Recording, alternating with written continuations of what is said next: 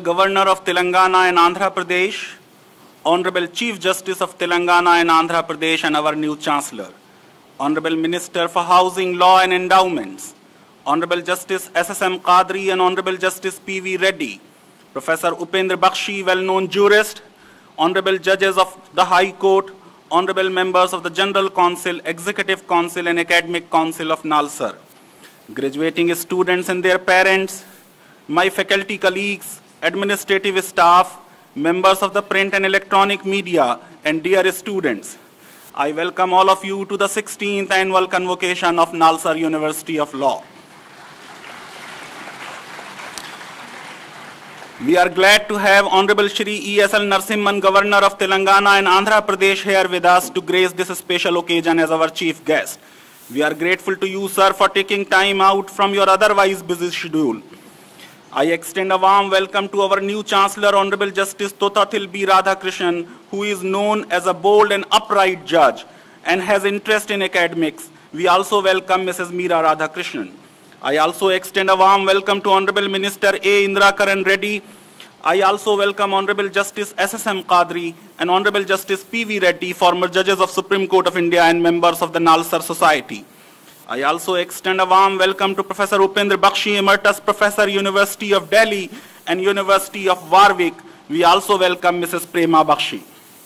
I also extend a warm welcome to all the honorable judges sitting and retired, eminent academicians, legal practitioners, and all the invitees who are present here. I am happy to share with you that Nalsar University of Law has been graded by UGC as Category 1 University. Nalsar is at fifth place among all the higher educational institutions in the country and also has the top place among all the national law universities.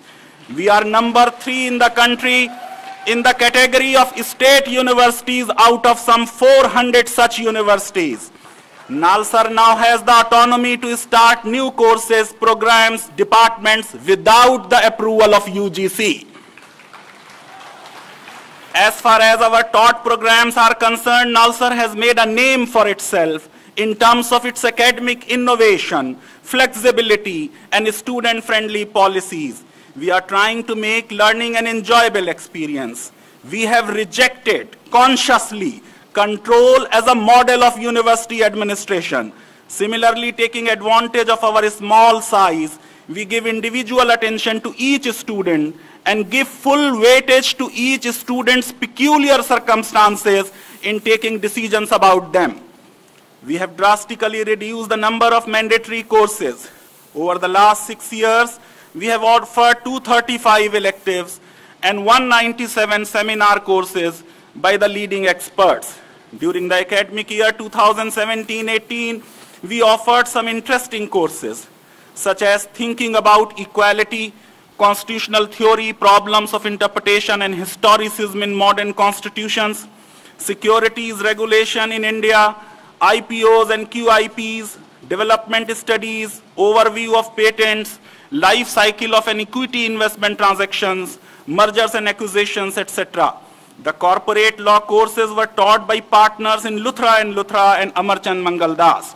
The course on international intellectual property law was taken by Dr. S. Rama Rao, former legal advisor, WIPO, Geneva, and professor, New York University Law School. As part of Global Initiative for Academic Networks, GIAN, the university invited eminent international scholars for offering courses. Under this program, a course titled Empirical Legal Studies in Law and Psychology was offered by Professor Jane Goodman, Charles Sturt University, Australia.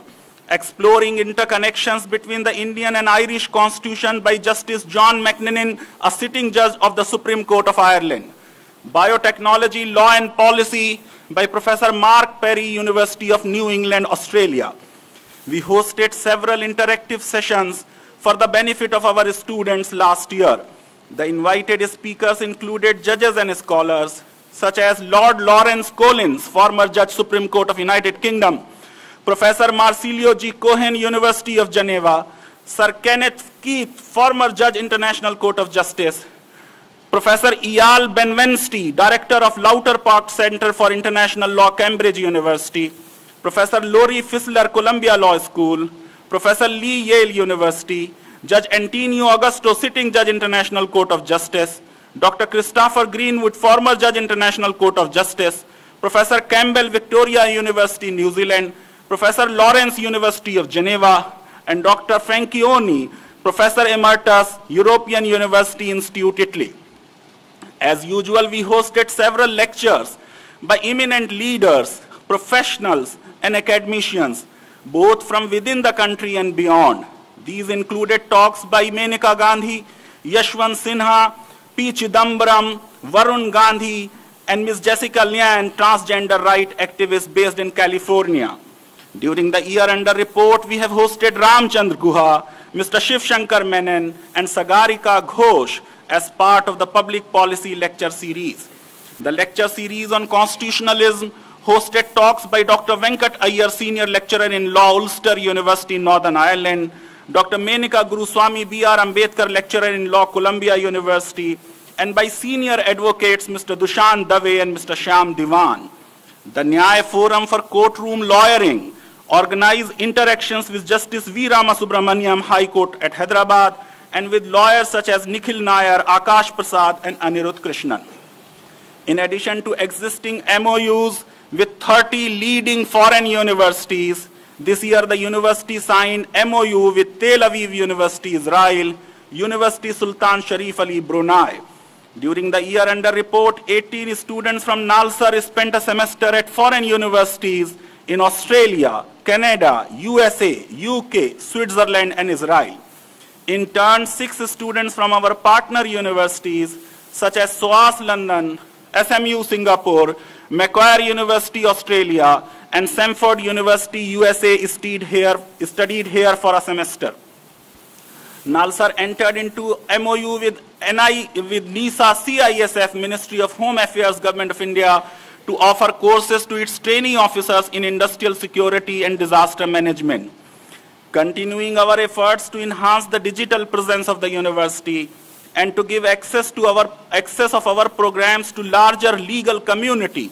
Our Nalsar YouTube channel now has more than 400 videos with nearly 18,200 subscribers and 6,70,000 views. Nalsar is continuously striving to provide the best of the infrastructural facilities to its students. This year we installed the 200 kilowatt, uh, kilowatt solar power plant and also installed new RO plant of 4,000 liters per hour capacity. The construction work for two new blocks of hostels has started. The new boys hostel was inaugurated by Honorable Justice Madan B. Lokur. Nalsar is helping the state of Telangana and state of Andhra Pradesh in drafting and reviewing various legislations. Last year, we had submitted our report based on the study of court management to the Ministry of Law and Justice, Government of India. Recently, we completed another project of ministry and submitted our report on the national law universities. The Center for Legal Philosophy and Justice Education has completed the project on knowledge-based intervention to strengthen realization of socio-economic rights sanctioned by Ford Foundation. Out of this project, ladies and gentlemen, I am glad to report as many as four books are being published. A book on land laws in India, a handbook on legal right to housing by Cambridge University Press, a book on right to education, and a resource book of cases and material on labor law by Eastern Book Company. As part of the project, the center organized an international conference on contemporary struggles towards the realization of socio-economic rights. The center was sanctioned another project for strengthening an alternative legal discourse based on cooperation, contentment, and care towards enabling justice for all by the Ford Foundation. Ministry of Consumer Affairs, Government of India has established a consumer law chair at Nalsar. Professor Sharma, as chair professor, published a book, Consumer Protection Orders of the years 2016-18. The Telugu version of the same will be published soon. Recently, we inaugurated a mediation center on campus. Center for Constitutional Law, Policy and Good Governance entered into MOU with the Election Commission of India to promote collaboration uh, in research and studies on democracy, electoral laws, and election management in India and other democracies. The Center for Aerospace and Defense Laws has completed and submitted the final report to the DRDO on the research work for a comprehensive critical legal analysis on transfer of technology in Indian defense sector, IPR issues and challenges. Center for Tribal and Land Rights in collaboration with AP State Legal Services Authority conducted a three-day training program for the paralegal volunteers in various districts. Department of Management Studies organized HR Conclave on Human Resources in the Changing World. The department also organized a one-day leadership summit entitled Led by Women, Initiate, Influence, Innovate, and Inspire. The summit was inaugurated by our Member of Parliament, Ms. Kavita. A workshop on corporate governance was hosted in collaboration with the University of Glasgow. We also organized four sessions of 11-day training programs for the Food Corporation of India officials. Due to the constraints of time, I am mentioning just few of the accomplishments of our faculty members. I was unanimously elected as president of the Shastri Indo-Canadian Institute, which is a 50-year-old organization of Government of India and Government of Canada and has 134 universities as its members in two countries. As visiting professor of Tel Aviv University, Israel, I taught a course on comparative freedom of religion.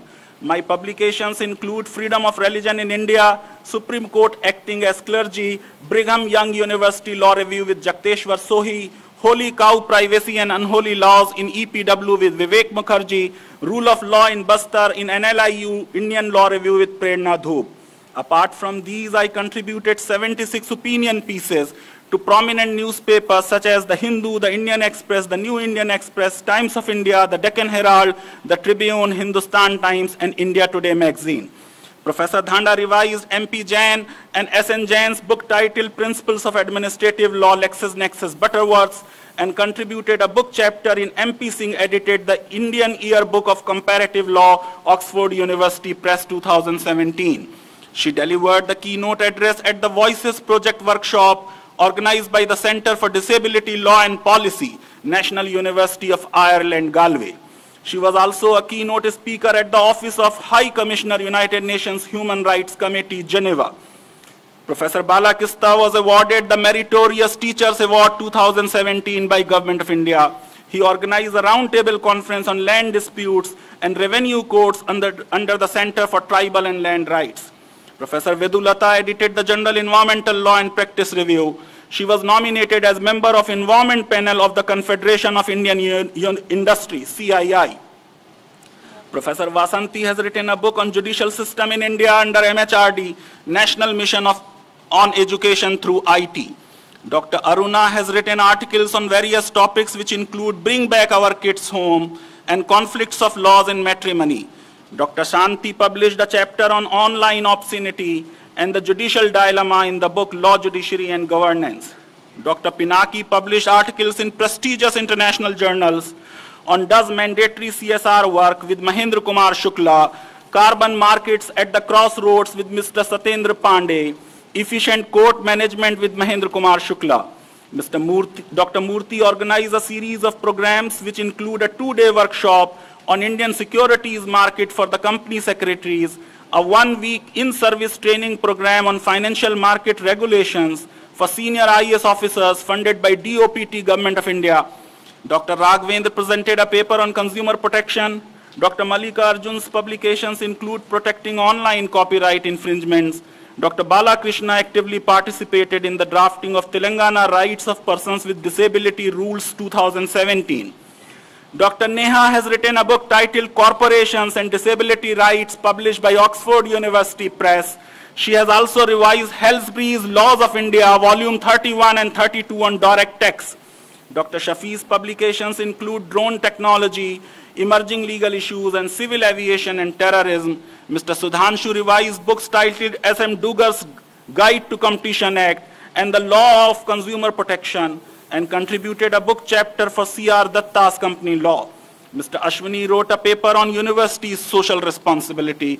Mr. Vageshan contributed a book chapter on pressure groups and media in Indian politics. Dr. Rahul Gandhi presented paper on farmer societies. Dr. Uma was sanctioned a project by Indian Council of Social Science Researches. Her publications include Teachers' Other Language Preference. Dr. Swati Mathur co-authored a book on stress, stressors, and stress management. Mr. Prashant Reddy's articles include Sets, Modular Systems, and Interconnections, comparing Singapore law with EU legislation published in Oxford Journal of Intellectual Property Law and Practice. He was a speaker at the 15th WIPO WTO Conference for Teachers of Intellectual Property, Geneva. I now turn to some of the accomplishments of our students. Only few of them are reported here. In addition to programs organized by university, the students' forums organize number of programs, including panel discussions, competitions, fest, etc. Panel discussions on the state of technology, policy, and advocacy in India.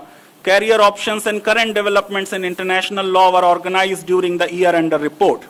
During the year 11th edition of Justice B.R. Swani Memorial Moot Court Competition, an eighth edition of first British parliamentary debate in India, that is the Nalsar Intervarsity Debating Championship, were successfully organized. The team comprising of Abhay Raj, Abhiraj Thakur, and Utkarsh were the semi-finalists in the second NLIU Justice R.K. Tankha International Moot Court Competition 2017. The team comprising of Urvi, Maitri, Seher, and Avindar, Manjushri, and Arpan were the winners of ICC Moot Competition India rounds, and they were the and they were the semi-finalists at the world, world rounds at The Hague. The team comprising of Anirudh, Rohan, and Utkarsh were semi-finalists at 10th NUJS Herbert Smith Freehills Corporate Law Moot. The team comprising of Janvi, Unnayan, and Arush won the second best memo at the 12th SP Sathe ILS Pune Moot. The team comprising of Ankita, Madhura, and Ridhi were the runners-up and won the second best memorial at HSIU NLS Bangalore Animal PIL Moot Court Competition 2018.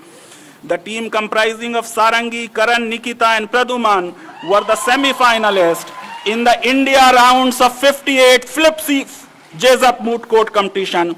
The team also won the award for the third best memorial and Karan won the award for the second best advocate. The team comprising of Aditi, Avni, Samiha and Sweeney broke to the round of 32 at the 15th William C. East Moot uh, 2018 held in Hong Kong. Samiha received an honorable mention for best speaker. The team comprising of Ankita, Dwiti, Harsirat qualified India memo elimination at Oxford, uh, Oxford Intellectual Property Moot 2018. The team comprising of Nishan, Deep, Samir and Abhishek reached the round of 64 at the William C. Vis International Commercial Arbitration, Vienna. Abhishek received honorable mention for best speaker.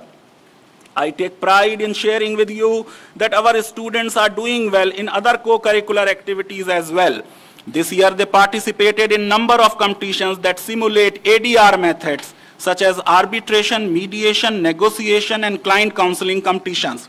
At YIMC Hong Kong, Parnika won the Best Mediator Award and Vivek won the Tosker Award for the most realistic client. Lakshna represented Nalsar at the Warsaw negotiation round 2018. Kushal, Advait and Pallavi finished as semi-finalists at CPR International ADR Competition 2018 in Brazil. Ritvik, Ashwarya and Aradhika finished as semi-finalists at CDRC Vienna 2018. Lakshna finished as the runners-up mediator at 4th RMNLU Mediation Competition 2018. Aradhika and Virali individually finished as quarter-finalists in the Best Client category. Sanchit and Subhash won the award for Best Interaction with Mediator as Client and Counsel. Shagun and Shri Joe were winners of the Client Counseling Competition at MET National ADR Tournament 2017.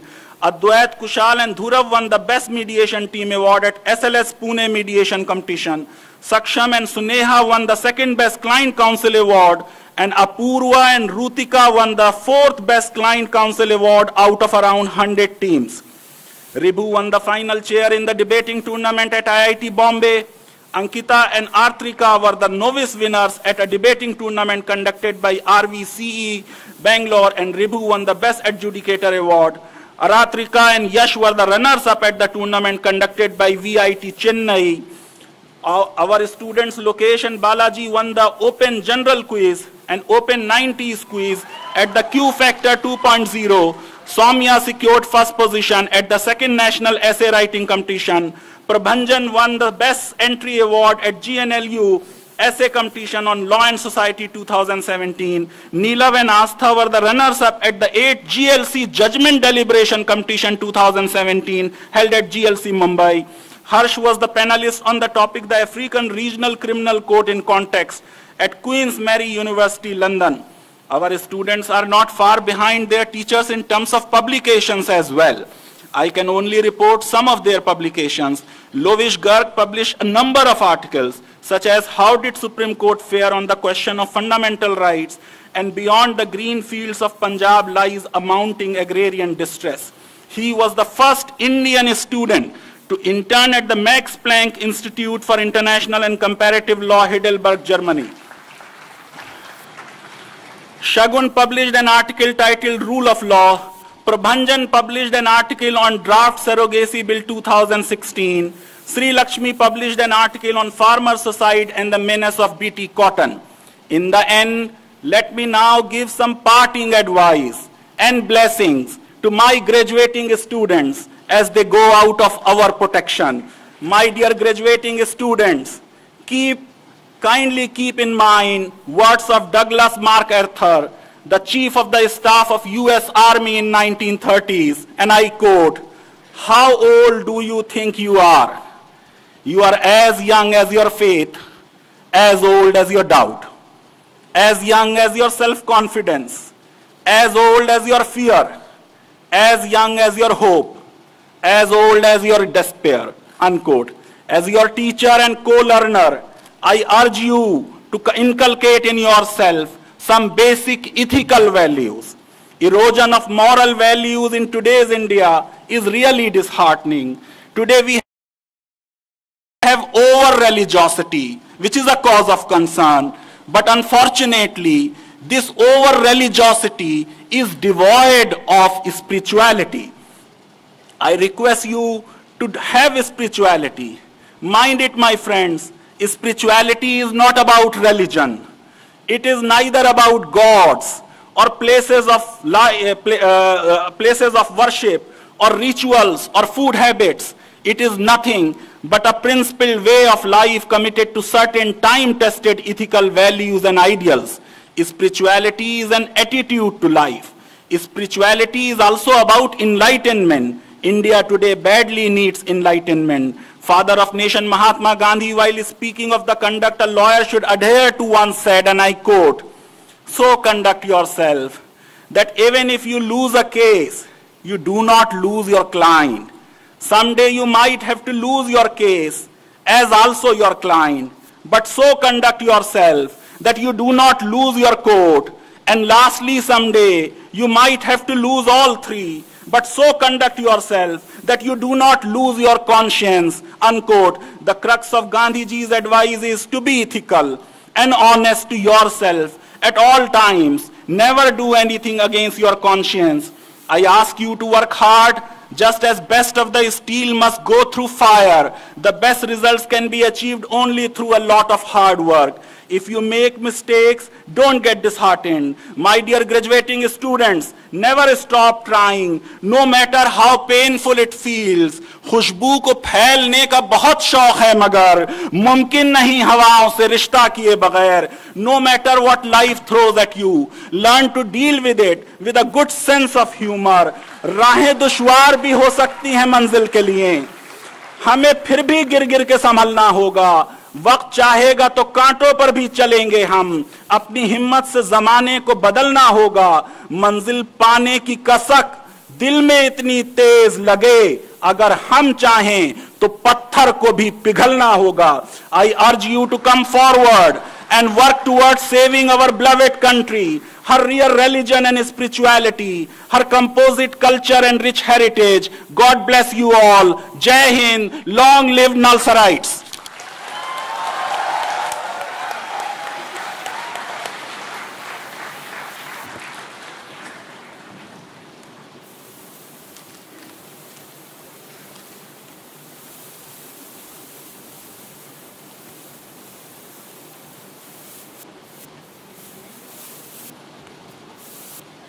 Let the candidate for the LLD degree honoris causa be presented.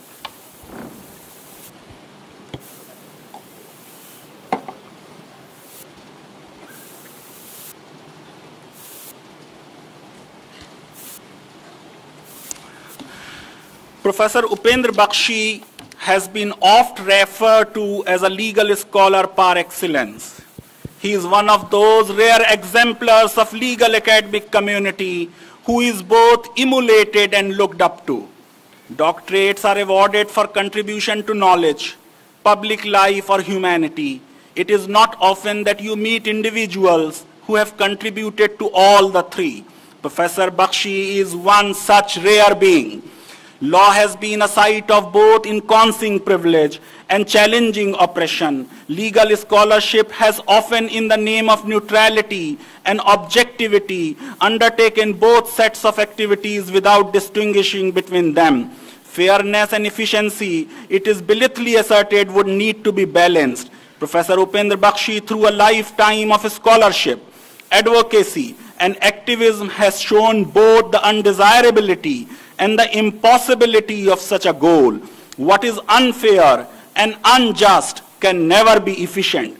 Be it speaking up for the helpless Mathura, the inmates of Agra home, the victims of the Bhopal tragedy, or the excluded castes in Kanpur, Professor Baxi has in word and deed, both inside and outside his classroom, stood for and with the oppressed, marginalized, and excluded.